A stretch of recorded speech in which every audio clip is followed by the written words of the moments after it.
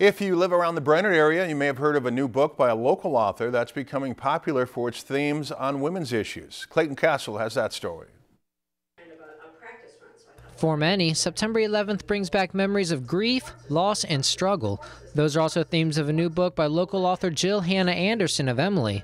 Her new book, The To Hell and Back Club, follows the life of Peyton Brooks, a newly empty nester who grieves the loss of her three best friends who were killed in a car crash.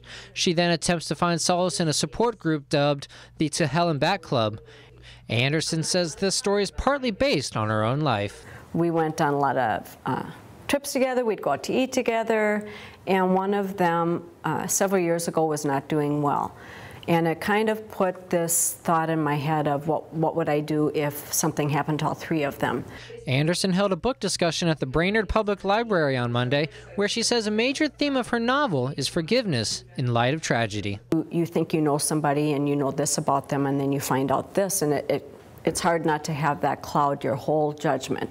And she kind of has to realize that, hey, everybody makes mistakes, everybody, you know, has the right to move on with their life. And so forgiveness is, is a very big thing. Although cut out of the book, Anderson revealed that the tragic events in the beginning of the story occur on September 11, 2010, a thematic parallel to the events on September 11, 2001 initially she had reflected back that, oh my gosh, you know, I thought, I woke up this morning and I thought this is what my day was going to be about, and everything changed.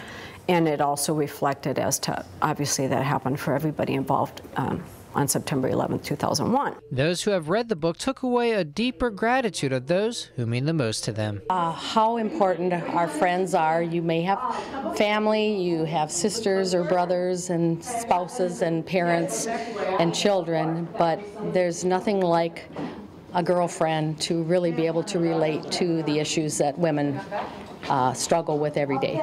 Anderson is currently working on a second novel based on one of the other characters in the To Hell and Back Club. Reporting in Brainerd, Clayton Castle, Lakeland News. This is uh, Jill Hannah Anderson's first published novel, although she has written a number of stories for other publications. If you've enjoyed this segment of Lakeland News, please consider making a tax-deductible contribution to Lakeland Public Television.